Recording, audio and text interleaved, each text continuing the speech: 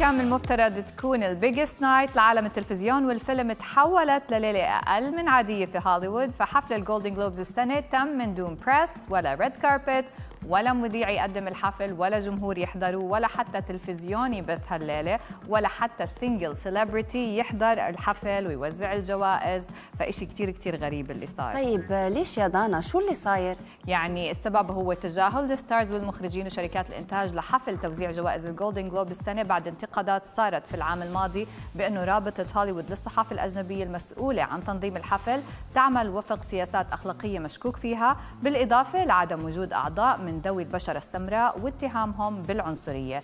But still بالرغم من هذا كله ومقاطعة هوليوود لهم إلا أنهم قرروا أنه the show must go on وأقاموا الحفلة بدورتها 79 خلف الأبواب المغلقة وأعلنوا عن الفائزين وقائمة الجوائز موجودة على موقعهم الرسمي. يعني صراحة يا دانا شكلها ولا كأنها حفلة توزيع ولا كأنها party أبدا. طيب خلينا نروح معك يا دانا ونعرف مين الفائزين. يعني ال biggest winners بهاي الليلة هم فيلمين The Power of the Dog و West Side Story اللي حصدوا أكبر عدد من الجوائز.